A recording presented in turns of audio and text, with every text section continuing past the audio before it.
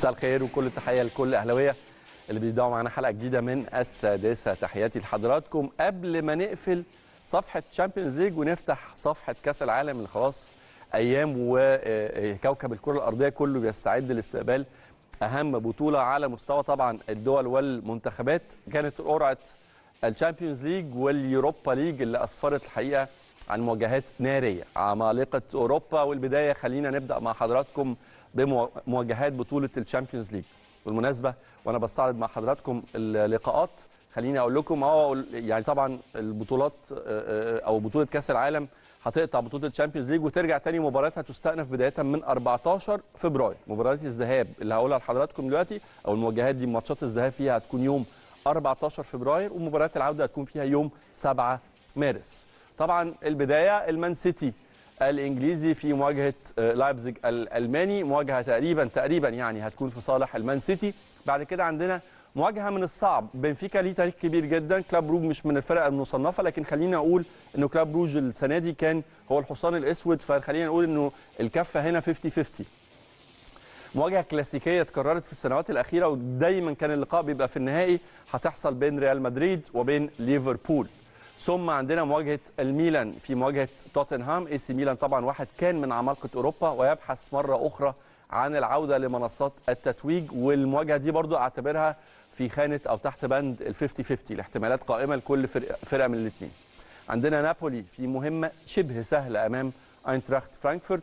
وعندنا تشيلسي في مواجهة بروسيا دورتموند. أعتقد ان القوة في الوقت الحالي في ظروف الفرقتين قوة يعني متكافئة إلى حد كبير فالمباراة برضو هتدخل في ال 50 50 عندنا بعد كده الإنتر المتألق اوروبيا والمتعثر ايطاليا. امبارح الإنتر خسر في مفاجأة.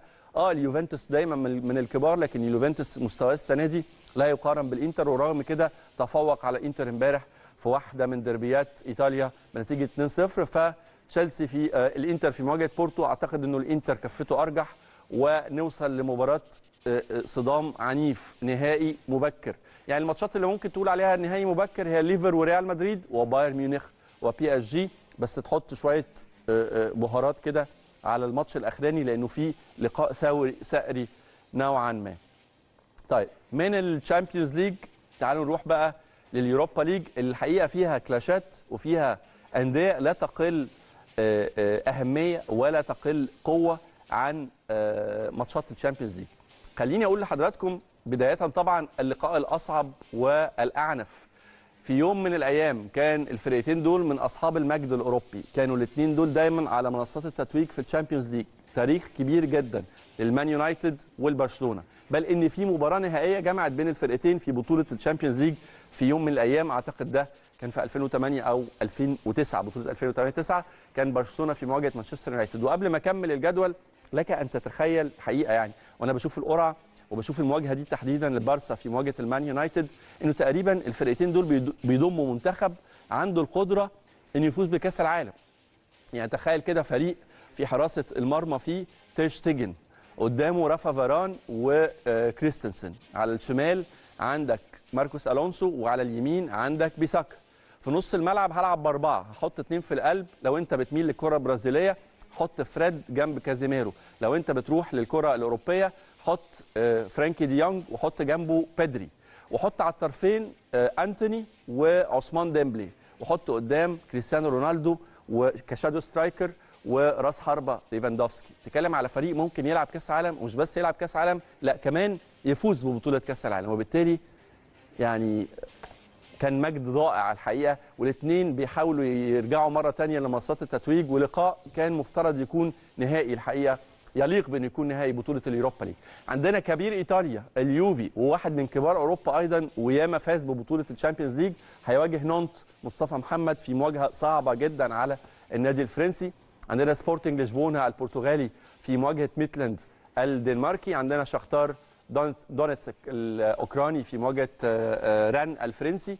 يونيون برلين هيواجه أياكس أمستردام، باير ليفركوزن في مواجهه موناكو. إشبيلية في مواجهه أيندهوفن الهولندي وسالزبورج النمساوي في مواجهه روما الإيطالي فرق كبيرة جدا وماتشات ال Europa League هتتلعب مباريات الذهاب يوم 16 فبراير بعد يومين من مباريات الذهاب في ال Champions League لكن مباراة العودة هتتلعب بعدها بأسبوع وتحديدا يوم 23 آه، فبراير. خلينا نستمتع الأول ببطولة الكأس العالم وبعدين نرجع نكمل طبعا مع الأدوار القوية بقى. من هنا بتبتدي البطولة تدخل في الجد ومن هنا بنبتدي نشوف ماتشات من العيار التقيل.